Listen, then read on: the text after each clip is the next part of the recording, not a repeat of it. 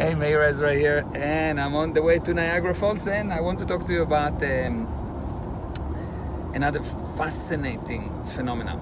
So the basic law is like that: the more you explain why thing happened to you, the less cause you will be. You want to be successful? You need you need to get off this uh, urge to explain why things happen to you. This explanation is actually making you effect. You say, well, that happened because he did that. Or because she said that, I did that. Every time you do that, you make yourself an effect. And for as long as you're effect, you will not be Jewish. you will not be rich. Because you cannot be successful, rich, wealthy, and effect.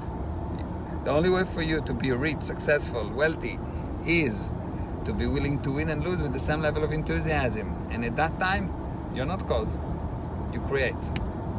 But the stepping stone is because, because.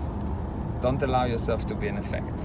And if you do become an effect, the causative effect, you say, hmm, I'm going to be an effect. So that's all.